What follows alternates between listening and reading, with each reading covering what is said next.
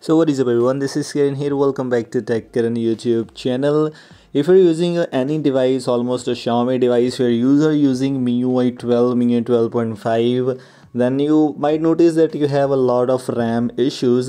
You can improve your RAM condition. You can simply improve your RAM management a lot of things with this kind of a Magisk module which I'm gonna share with you in this video. As you can see I'm using it on my Redmi Note 8 running MIUI 12.5 the smoothness is good here but not that much great. I can simply improve my RAM management very easily. For this you must have a Magisk installed. As you can see I am using the latest Magisk version v21.4 you can use the Magisk 22.0 you can use the older MIUI is also it's just up to you how you can install that module. The link for that module is in the description. You just need to simply click on the install from storage option and here you need to select that module file which the link is in the description as I previously told you this was only about 57 KB file so this I don't think so will have any kind of issues while downloading this file. And the link for this file is in my telegram channel so make sure to click on that or you can simply head over to my telegram channel to just download that module. As you can see installation is successful. Very easily as you can see the installation is successful. So what we need to do is we simply need to reboot our device and I'm not gonna skip any part of the video so just wait for the reboot to finish. And after the reboot let me just click on reboot once. As I am using the MIUI 12.5 I am using Redmi Note 8 here so it will take some little bit of extra time to reboot so just wait and stay tuned for that.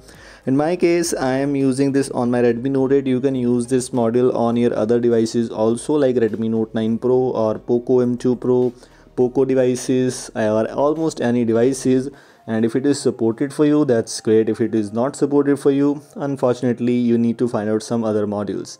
And in case if it doesn't boot on your device and if it just goes to fast boot or you can say if it is not compatible or you're seeing boot loop then what you can do is you can simply boot into custom recovery here. And after booting into custom recovery you can uninstall that Magisk module. If you don't know how to do that you can make comment. You can simply comment below. I'll try to make a guide on that one also as you can see it is almost booting now. And also if you need this kind of uh, tempered glass which I am using right now on my device as you can see a lot of users commented like that. I'll try to provide you the link in the pinned comment or the description box for this glass guard or this tempered glass which I'm using. I'm using buff guard here. You can also use that so it's almost booted right now. We are getting MIUI 12.5 logo boot animation and done. So we are just booted on our device and very easy. I don't think so i need to show you anything. It will just take time to settle. And after that you will see good kind of ram management on your device. And if it is working for you it's great. If it is not working for you unfortunately you need to try out some other things. This is the model which we just installed right now qti memory optimization.